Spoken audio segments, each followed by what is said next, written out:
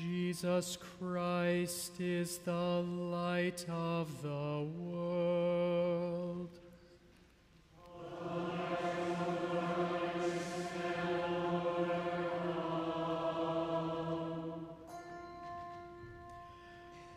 Stay with us, Lord, for it is evening.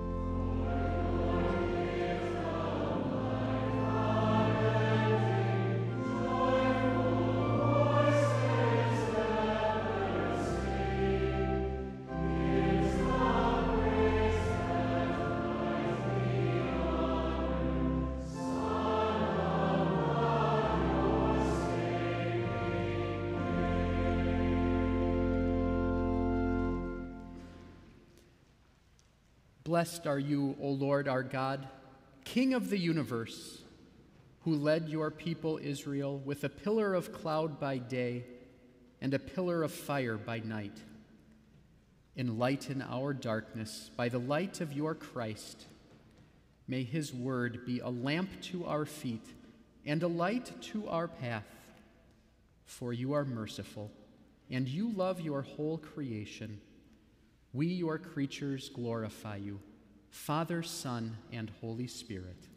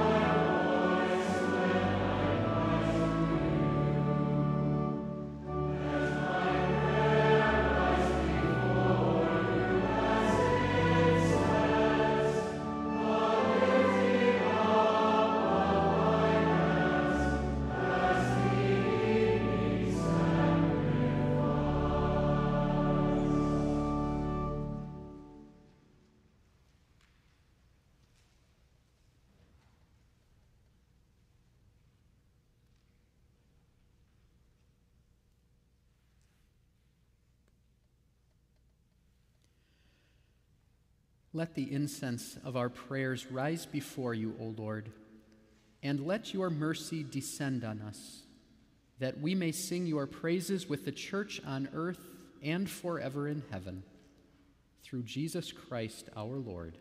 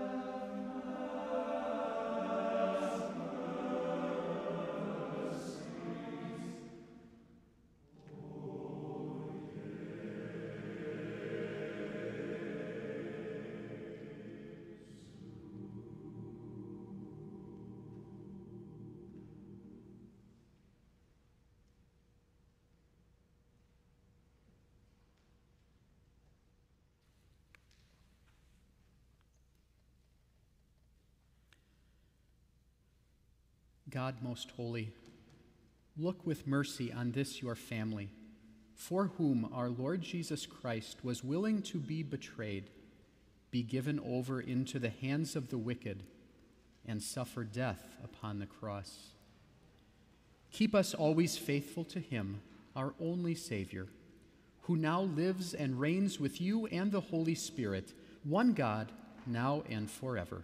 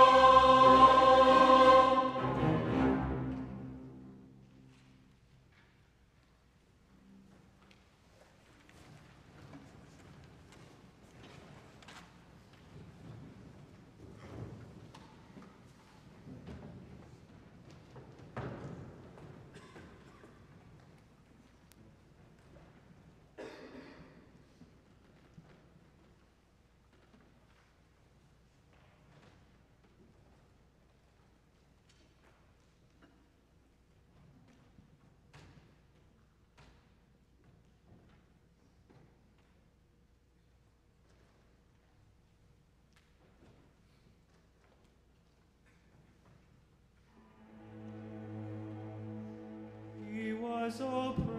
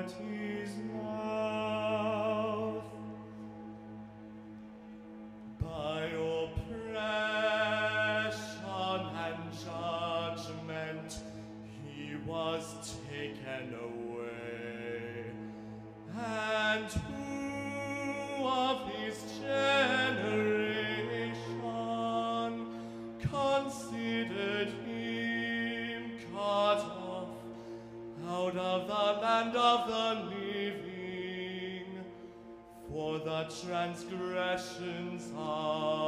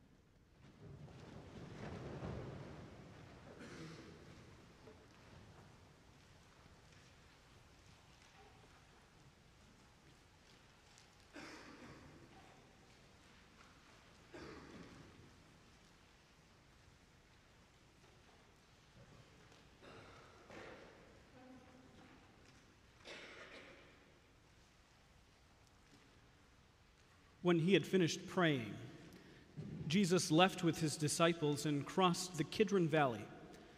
On the other side, there was a garden, and he and his disciples went into it. Now, Judas, who betrayed him, knew the place, because Jesus had often met there with his disciples. So Judas came to the garden, guiding a detachment of soldiers and some officials from the chief priests and the Pharisees. They were carrying torches, lanterns, and weapons. Jesus, knowing all that was going to happen to him, went out and asked them, Who is it you want? Jesus of Nazareth, they replied. I am he, Jesus said. And Judas the traitor was standing there with them. When Jesus said, I am he, they drew back and fell to the ground. Again he asked them, Who is it you want? Jesus of Nazareth, they said.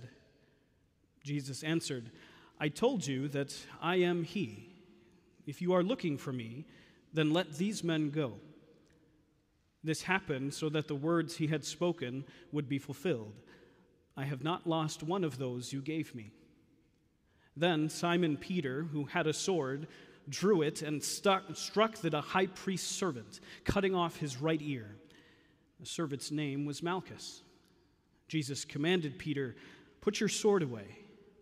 Shall I not drink the cup the Father has given me?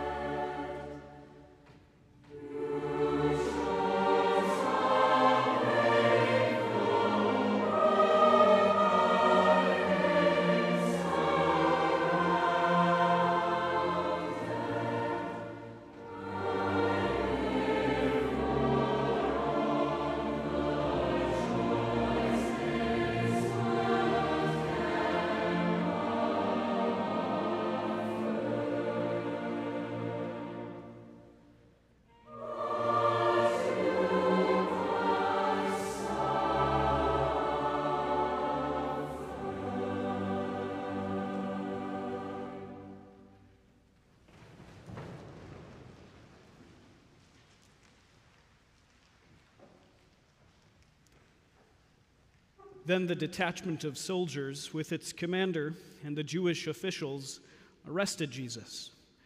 They bound him and brought him first to Annas, who was the father in law of Caiaphas, the high priest that year. Caiaphas was the one who had advised the Jewish leaders that it would be good if one man died for the people. Simon Peter and another disciple were following Jesus. Because this disciple was known to the high priest, he went with Jesus into the high priest's courtyard, but Peter had to wait outside at the door. The other disciple, who was known to the high priest, came back, spoke to the servant girl on duty there, and brought Peter in. You aren't one of this man's disciples, too, are you? She asked Peter. He replied, I am not. It was cold, and the servants and officials stood around a fire they had made to keep warm. Peter also was standing with them, warming himself. Meanwhile, the high priest questioned Jesus about his disciples and his teaching. I have spoken openly to the world, Jesus replied. I always taught in synagogues or at the temple where all the Jews come together. I said nothing in secret. Why question me? Ask those who heard me. Surely they know what I said.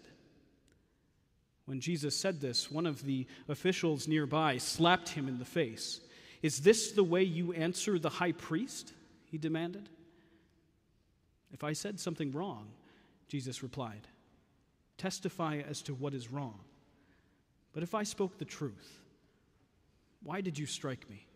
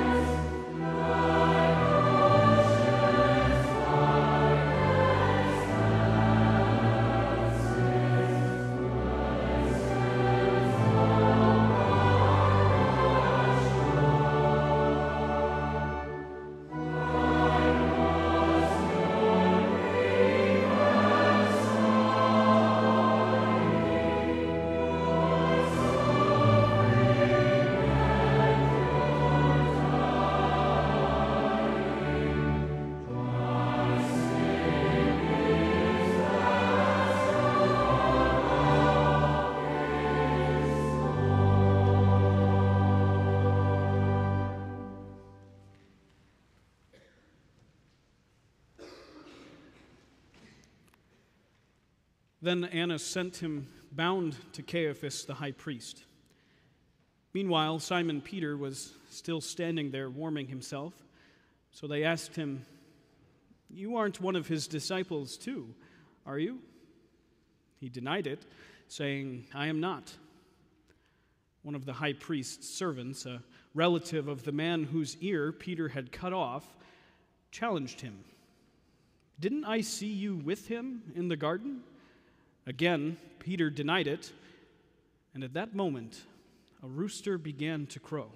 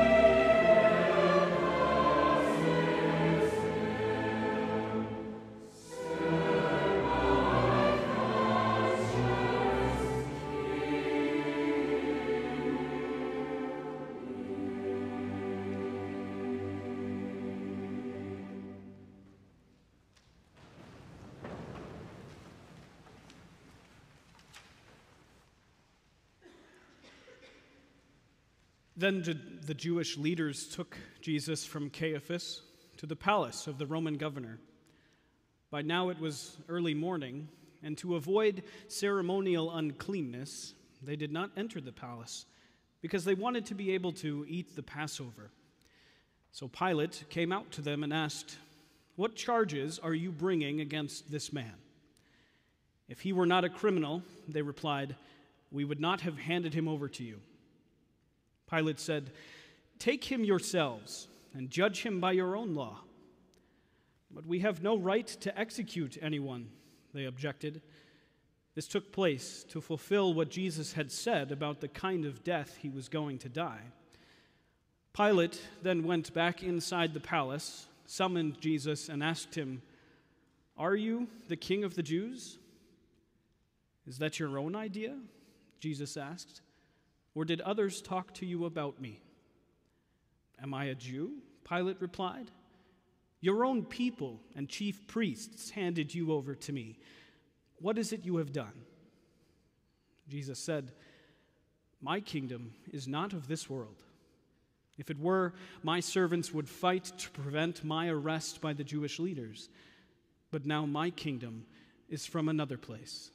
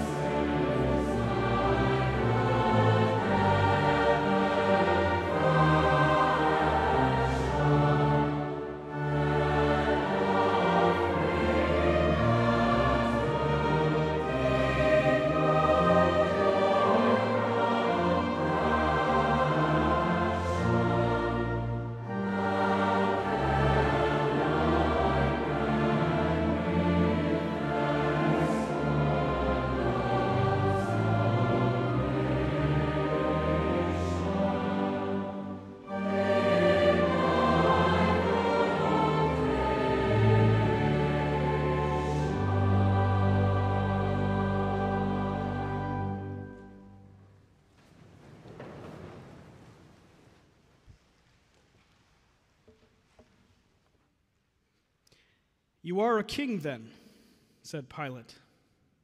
Jesus answered, You say that I am a king. In fact, the reason I was born and came into the world is to testify to the truth. Everyone on the side of truth listens to me. What is truth? retorted Pilate. With this, he went out again to the Jews gathered there and said, I find no basis for a charge against him. But it is your custom for me to release to you one prisoner at the time of the Passover. Do you want me to release the king of the Jews? They shouted back, No, not him. Give us Barabbas. Now, Barabbas had taken part in an uprising. Then Pilate took Jesus and had him flogged. The soldiers twisted together a crown of thorns and put it on his head. They clothed him in a purple robe and went up to him again and again, saying, Hail, King of the Jews! And they slapped him in the face. Once more, Pilate came out and said to the Jews gathered there, Look, I am bringing him out to you to let you know that I find no basis for a charge against him. When Jesus came out wearing the crown of thorns and the purple robe, Pilate said to them, here is the man. As soon as the chief priests and their officials saw him, they shouted, Crucify! Crucify! But Pilate answered, You take him and crucify him.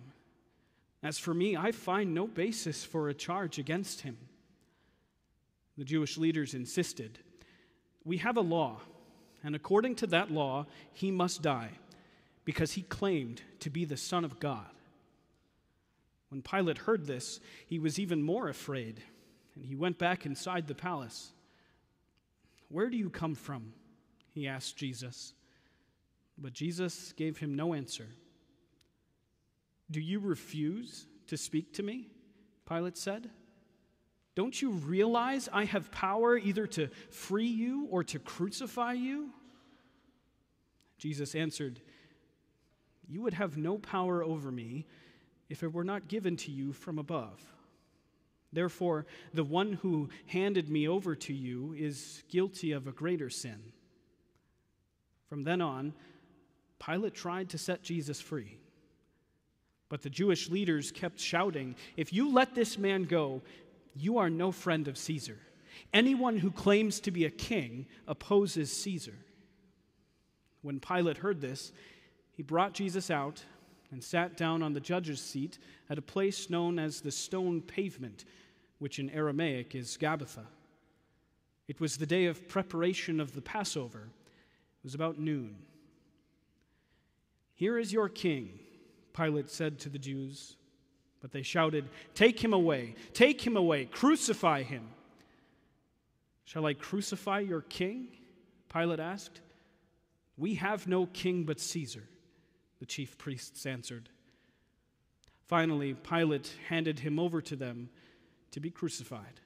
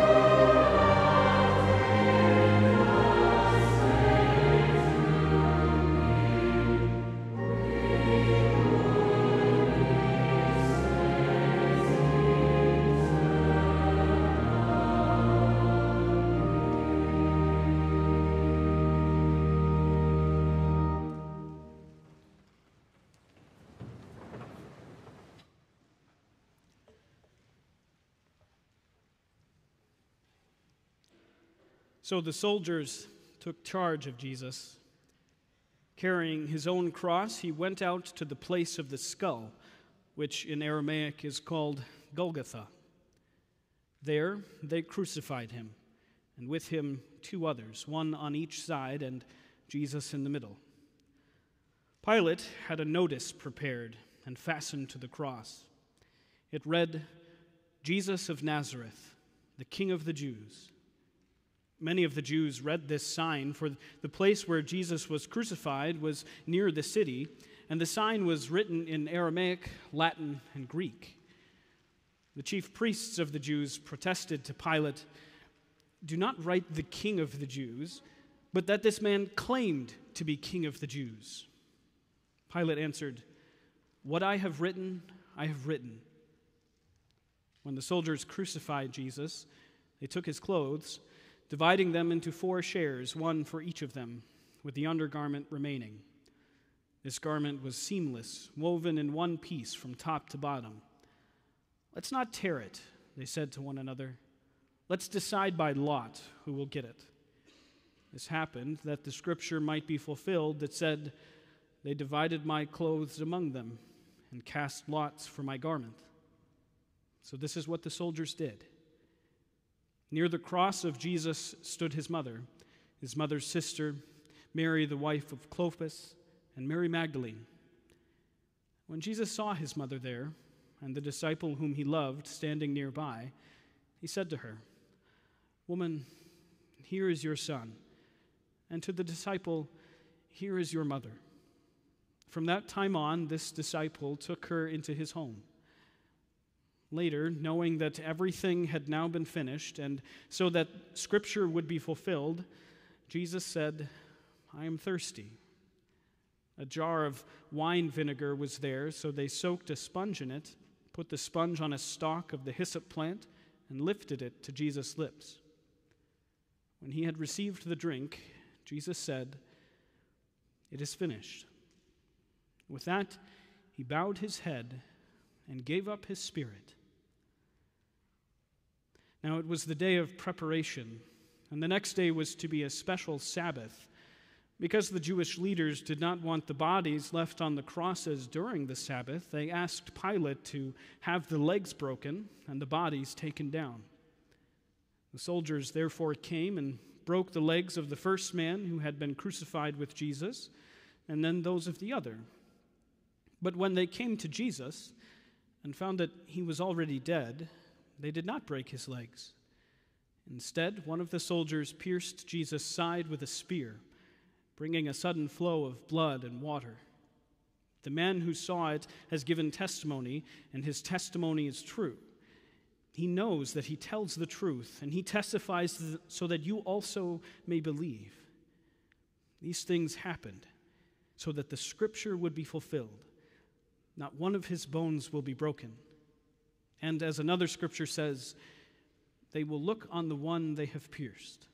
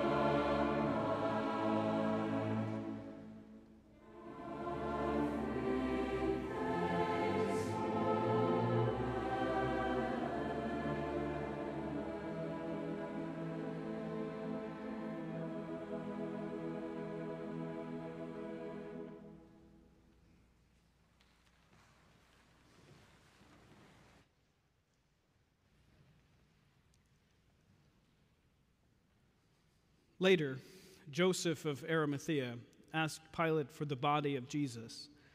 Now, Joseph was a disciple of Jesus, but secretly, because he feared the Jewish leaders. With Pilate's permission, he came and took the body away. He was accompanied by Nicodemus, the man who earlier had visited Jesus at night. Nicodemus brought a mixture of myrrh and aloes, about 75 pounds. Taking Jesus' body, the two of them wrapped it with the spices in strips of linen. This was in accordance with Jewish burial customs. At the place where Jesus was crucified, there was a garden, and in the garden a new tomb in which no one had ever been laid. Because it was the Jewish day of preparation, and since the tomb was nearby, they laid Jesus there.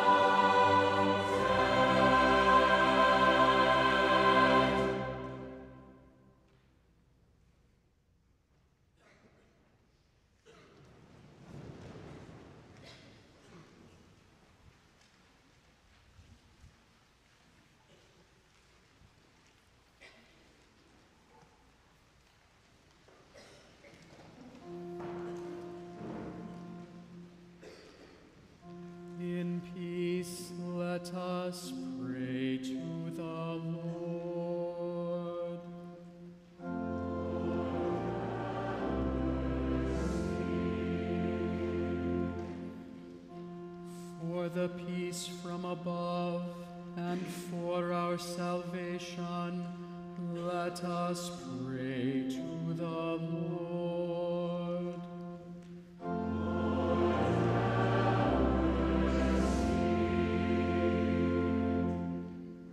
for the peace of the whole world, for the well being of the Church of God, and for the unity of all, let us pray to the Lord.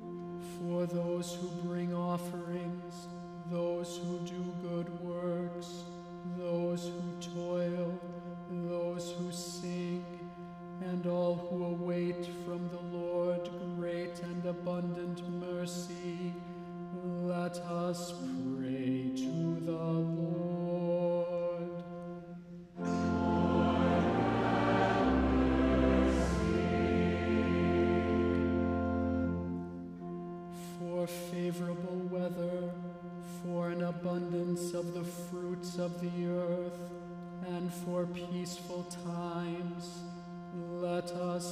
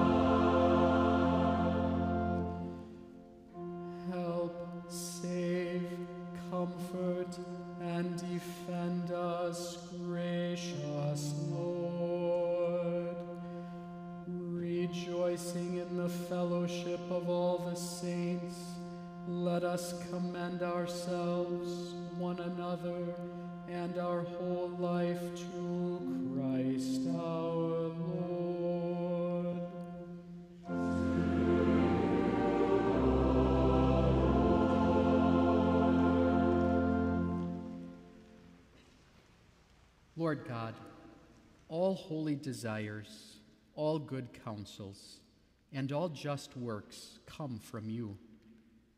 Give to us, your servants, that peace which the world cannot give, that our hearts may be set to obey your commandments. Defend us also from the fear of our enemies, that we may live in peace and quietness. Through the merits of Jesus Christ, our Savior, who lives and reigns with you and the Holy Spirit, one God, now and forever.